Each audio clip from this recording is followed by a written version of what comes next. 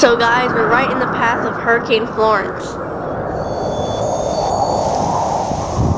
School was called off for two days.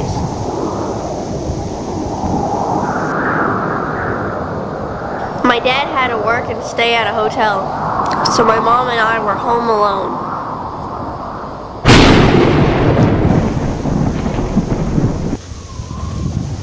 We were really worried about the hurricane.